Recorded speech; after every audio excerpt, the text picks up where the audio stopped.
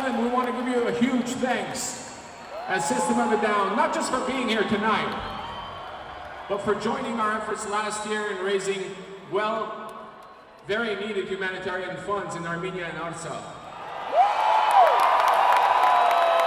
Azerbaijan, Turkey, and Syrian mercenaries attacked our peaceful people there, causing a lot of humanitarian damage and war crimes, and you guys stood up with us. We will never forget you. Thank you. This one is called Protect the Land.